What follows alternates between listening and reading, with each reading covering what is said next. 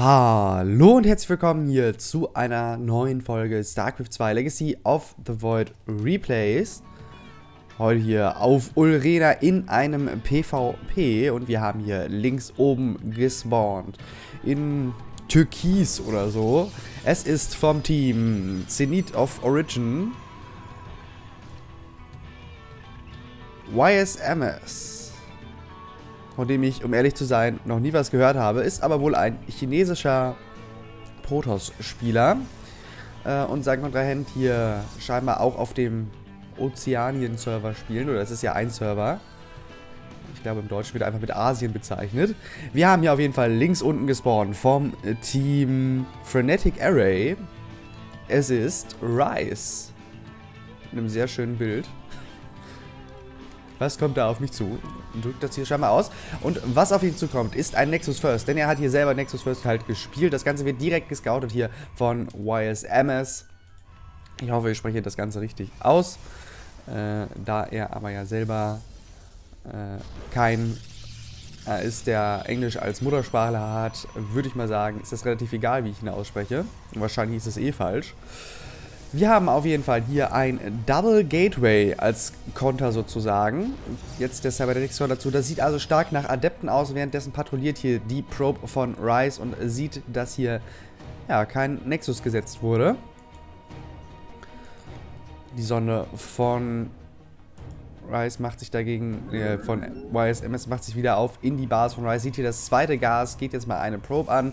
Was er auch gesehen hat, hier sind beide Gateways, die natürlich als Konter gesetzt wurden, ganz klar. Der Nexus First bewirkt natürlich, dass er sehr, sehr früh hier gleich zwei Probes bauen kann gleichzeitig.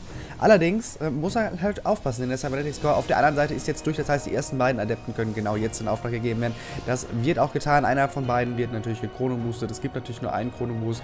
Es gibt auch keinen weiteren Nexus hier in naher Zukunft, denn das Ganze wurde hier Pinen geblockt von Rise, der sich hier wieder aufmacht, äh, den Cybernetics God zu setzen und baut jetzt auch hier direkt Probes. Wise MS setzt hier tatsächlich äh, ein Pylon, das heißt, er wird jetzt hier gleich versuchen zu Photon Overcharge rushen. Zweiter Pylon auch gesetzt. Chrono Boost jetzt umgeleitet auf die beiden Gateways. Zwei Zealots jetzt gechrono boostet. Währenddessen macht sich hier von Rice eine Probe auf den Weg zur Goldbasis oder wo soll die hin? Ne, die scoutet, glaube ich, einfach nur. Okay. Mothership Core, äh, der ist schon unterwegs, ist jetzt hier, währenddessen hier weiter gechronoboostet ein Stalker. Die ersten beiden Einheiten sind ja auch unterwegs, es kommen tatsächlich Stalker und keine Adepten. Macht natürlich gegen einen Nexus auch mehr Sinn. Jetzt sind die ersten beiden Zealots da, aber die können natürlich wenig mehr ausrichten. Hier sehr, sehr schön gemacht von Rice. Hat hier ein Pfeiler gesetzt, damit die Stalker nicht durchkommen. Jetzt kann aber Photon Overcharge gesetzt werden. Greift hier direkt den Mothership Core an. Denn der hat jetzt wiederum seinen eigenen Pfeilen hier Photon Overcharged. Aber der Mothership Core fällt. Damit kein Photon Overcharge in naher Zukunft verfügbar. Baut er direkt einen nach. Ja, macht er. Und wir sehen hier überall werden Pylons gesetzt. Das kann ja hier noch heiter werden. Photon Overcharge ist aktuell nicht verfügbar. Wir brauchen natürlich 50 Energie, das heißt 10 Sekunden brauchen wir noch. Zwei Stalker jetzt von Rice da. Der kann jetzt also hier auch langsam aber sicher etwas äh, gut machen an Army Supply. Wir schauen mal gerade aufs Army Supply tatsächlich. Wir sehen hier, der neue Mothership Core ist da. Der Pylon ist im Bau. Ähm, und wenn der jetzt hier durchkommt, dann kann das schwierig werden. Von der Overcharge allerdings jetzt wieder gesetzt von YSMS, der hier weiter die Pylons attackiert. Ähm, wieder von der Overcharge gesetzt, allerdings der Pylon schon sehr angeschlagen. Der sollte jetzt hier rausgenommen werden. Ein Stalker fällt dabei allerdings. Und jetzt kann es hier weitergehen auf den Nexus. Wir schauen mal auf das Follow-up hier. Stalker werden gechronoboostet. Allerdings ist ein bisschen spät angefangen, weil hier selber zu sehr beschäftigt mit dem Micro. Stalker versucht jetzt hier immer noch gegen 3 zu kämpfen. Das ist, glaube ich, ein ziemlich aussichtsloser Fight. Und wir sehen hier weitere Stalker, die dazukommen. Mothership Core jetzt hier bei der Hälfte der Energie, die er braucht. Der von äh, Rice ist dagegen schon wieder ein bisschen weiter. Wir sehen jetzt hier schon, auch Warpgate ist durch bei YSM. Es kann also jetzt hier vorne rein warpen, während er den Pylon angreift. Dauert natürlich ewig, weil hier kein Gateway ist, aber das äh, ist nun mal so. Jetzt hier die Probe fokussiert, somit immerhin kein weiteres Vorantreiben der Pylons. Der Nexus fällt allerdings hier direkt, wird rausgenommen. Und der Pylon von ihm allerdings auch. Sehr gut gemacht, wurde ein Overcharge jetzt gesetzt. Damit kann er auf jeden Fall hier nochmal die Ramp halten, der gute Rise. Der hier versucht immer weiter Einheiten zu bauen. Ist allerdings schwer. Sentry jetzt sogar im Bau. Möchte hier also den Gegner ausschließen. Währenddessen ist jetzt hier gleich Warpgate durch. Kann also gleich Warpgates bauen. Hat auch die Sentry abgebrochen in dem anderen Gateway. Eine hat er nun. Äh, und jetzt müsste eigentlich hier, glaube ich, YSMS The Transition spielen, der hier gerade Probe rausschickt. Was soll die machen? Das ist jetzt eine spannende Frage. Vielleicht sollte hier äh, YSMS auch nochmal eben diesen Pylon rausnehmen. Pylons rausnehmen ist immer gut. Wir sehen hier 35 von 47. Würde nicht ganz den Supply-Block bringen. Ähm, aber jetzt sehen wir auch hier, Sentries werden gewarpt. Das heißt ja nun eindeutig, er möchte hier den Gegner in seiner eigenen Basis einsperren. Äh, das Ganze könnten wir auch umgekehrt sagen. Hier hoch wird es nicht kommen. Währenddessen Oracle, das hier fleißig Kills sammelt. Wir sehen 8 Kills auf dem Oracle, 10 Worker gefallen insgesamt, also eine vorher noch rausgenommen. Das ist natürlich jetzt hier eher suboptimal. Nur noch die Hälfte der Worker hier. Forcefield schön gesetzt, die eine Sentry fällt allerdings noch. Wir haben immer noch äh, ein Forcefield, vielleicht wenn das ausgelaufen ist, sogar schon fast wieder zwei. Aber hier einfach ein Vorsprung von 10 Workern ist schon enorm. Wir sehen hier die Echse an der Goldbasis. Ich denke, das sollte sich hier YSMS nicht mehr aus der Hand nehmen lassen. Sehen wir hier irgendwas, was Rice nochmal zurückbringen kann. Es gibt eine Robo, allerdings hier keine Einheiten, die er davon baut, denn er hat einfach zu wenig Geld. Währenddessen gibt es ein zweites Oracle von YSMS. Wir sehen auch schon einen Void Ray, wir sehen weitere Warp Gates, die hier dazukommen. Und wie gesagt, der Nexus, spätestens wenn der da ist, sollte hier Rice doch mal ziemliche Probleme bekommen. Denn dann ist die Eco von YSMS einfach nicht mehr aufzuhalten. Äh, auch wenn wir natürlich keinen Worker-Transfer sehen werden. Ah, doch, werden wir wohl sehen, okay. Das Ganze sieht allerdings auch Rice. Der weiß also eigentlich Bescheid. Jetzt sieht er allerdings ja auch den Void Ray, der hier den Pylon rausnimmt. Kein Photon Overcharge verfügbar.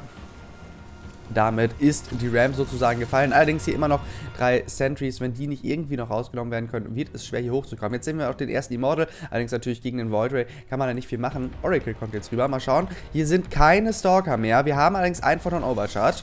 Schauen, ob der direkt gesetzt wird. Aktuell noch nicht. Die Props werden wieder geslidet. Hier ist kein einziger Pylon, wo er gerade hinfliegt. Hätte vielleicht die andere Richtung nehmen sollen. Zwei Kills ist jetzt noch nicht so klasse fürs Oracle. Aber jeder Kill, den er mehr sammelt, ist natürlich gut für ihn. Wir sehen hier 26 zu 16 Worker. Keine Echse bei Rise. Also da muss jetzt schon viel passieren, dass er das Ganze noch gewinnen kann. YSMS zieht sich tatsächlich hier zurück, nimmt jetzt hier auch den Pylon raus. Währenddessen hier ein halluzinierter Phoenix, äh, der ist natürlich äh, nicht so schön wie irgendwie ein Oracle, was äh, nicht halluziniert wäre. Vielleicht hätte er auch ein halluziniertes Oracle spielen können.